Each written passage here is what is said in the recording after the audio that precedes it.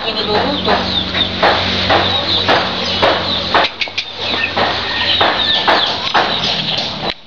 Ganda ng balahibo.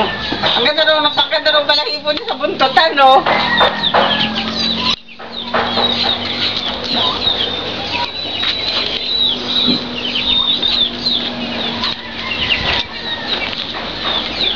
Ay, naman.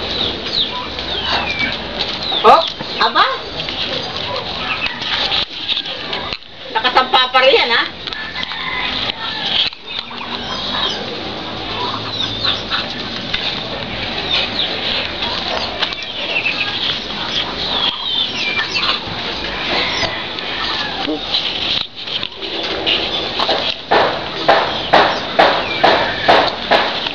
Ah, maganda pala yung pwesto